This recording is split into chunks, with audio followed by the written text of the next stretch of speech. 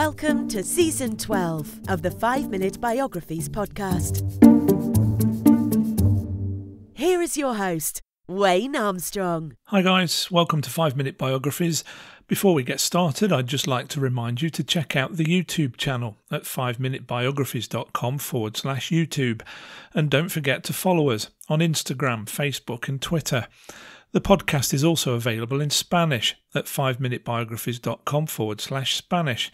And if you like the show and would like to show your support by, say, buying me a coffee, you can head on over to 5minutebiographies.com forward slash coffee to see how. Right, now that's out of the way, let's get on with the show and episode 9 of season 12 Mary Pickford. The actress and movie producer known to everyone as Mary Pickford was born Gladys Louise Smith on the 8th of April 1892 in Toronto, Canada, to parents John, who worked various jobs including as a purser on board steamships, and Charlotte, who was a seamstress. She had a younger sister called Charlotte and a younger brother called John, both of whom also became actors. When Gladys wasn't quite six years old, her father died as a result of a blood clot caused by an accident at work, resulting in her mother taking in lodgers to help pay the bills. One of the lodgers was a theatrical stage manager called Mr. Murphy, who suggested that the two girls, Gladys and her sister Charlotte, could get parts on the stage. They did so, and their mother even played the organ while they performed. By the turn of the century, the Smith family were fully involved with the theatre travelling around the United States by train from one acting gig to the next, but always on the lookout for the big break. Sure enough, a break came their way when Gladys secured a supporting role in a Broadway play in 1907 called The Warrens of Virginia. The producer of the play, David Belasco, insisted that she change her name and was given the stage name Mary Pickford. On the 19th of April 1909, Mary Pickford screen tested for D.W. Griffith, who was a director for the Biograph Company, which was the first company in the United States devoted entirely to producing movies. She didn't get the part she tested for, but Griffith was impressed and signed her up on $10 per day. Pickford played all sorts of different parts with a plan of being in as many movies as possible with the aim of getting noticed so that she would be able to continue working and maybe get bigger roles. She played parts in 51 movies in 1909, and audiences started to look out for films which featured her, even though Biograph didn't credit its actors at the time. Audiences would look out for movies advertised as starring the Biograph Girl or the Girl with the Golden Curls. Mary Pickford left Biograph in December 1910 to work for the Independent Moving Pictures Company, or IMP, and whilst working there she married an actor called Owen Moore on the 7th of January 1911, but his alcoholism and insecurities about Mary's fame didn't make for a happy marriage.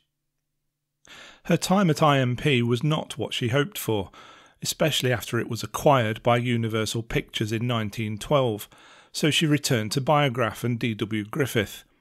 It was at this time that she gave some of her best performances, including in Just Like a Woman, The Female of the Species, and her last film for Biograph, The New York Hat, towards the end of 1912.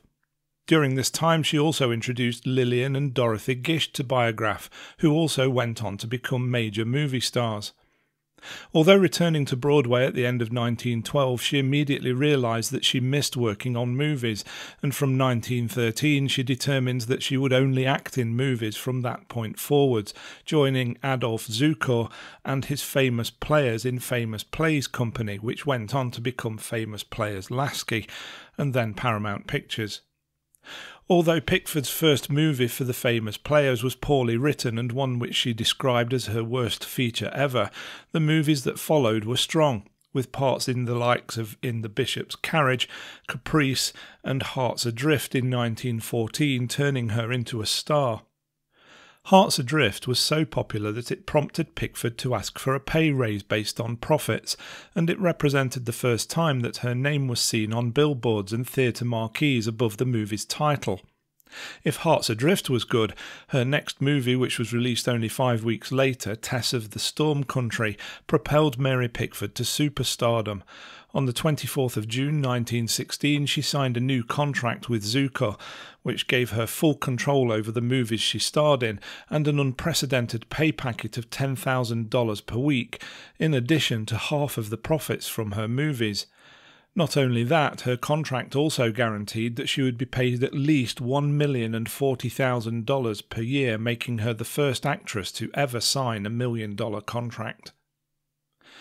During this period, the United States became involved in the First World War, and so she joined with other famous names such as Charlie Chaplin and Douglas Fairbanks in promoting Liberty Bonds, and at the end of the war she came up with the idea of the Motion Picture Relief Fund, which was set up with some leftover money from her war bond efforts to help needy actors who had fallen on hard times.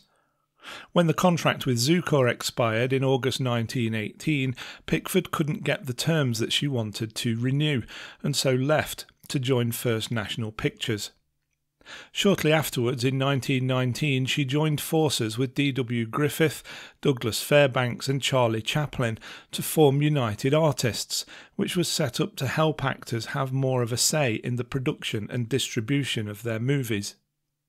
Whilst touring the United States selling war bonds, Mary Pickford had begun a secret relationship with Douglas Fairbanks, which ultimately led to her paying a settlement of $100,000 to Owen Moore. She was divorced from him on the 2nd of March 1920 and married Fairbanks before the month was out on the 28th.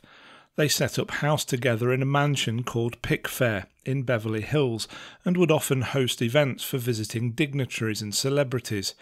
Charlie Chaplin was a regular guest, but other visitors included Albert Einstein, Amelia Earhart, Sir Arthur Conan Doyle, H.G. Wells, Helen Keller, and Lord Mountbatten.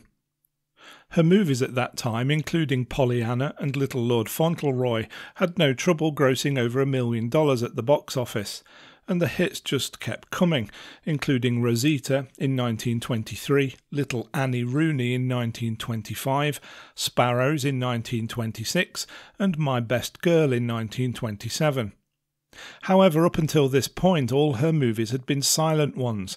The end of the 1920s saw the introduction of the talkies, and although she made the front pages of the newspapers after she cut off her curls, favouring a 1920s bob, and even winning an Academy Award for Best Actress in 1929's Coquette, her first talkie, Mary Pickford massively underestimated how much of an impact sound would have, and she didn't take it seriously.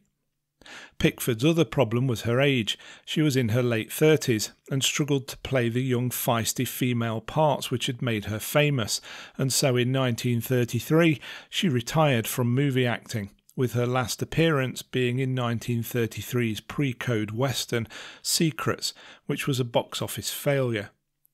As her career as an actress started to fade along with that of Fairbanks, he grew restless and often travelled to Europe, which was something that Mary didn't enjoy.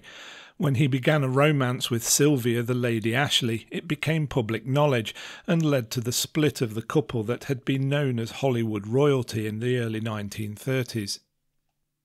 She didn't retire from the industry though, and not only did she continue to produce films for others, she also toured on the stage and appeared in a season of radio plays. In 1936, she became vice president of United Artists, and in the same year, she and Douglas Fairbanks were divorced.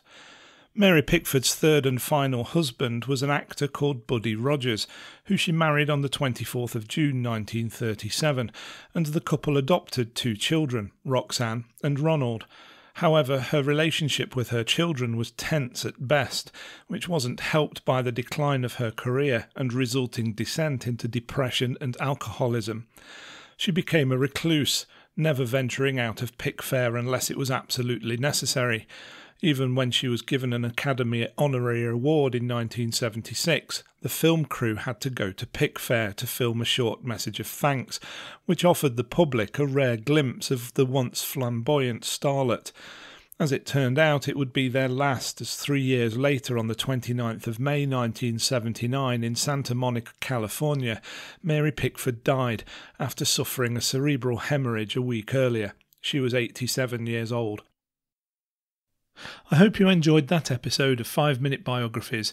If you did, why not show your support by, say, buying me a coffee?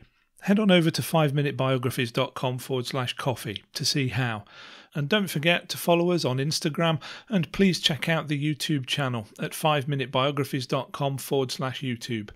Thanks for listening, and I'll see you next time.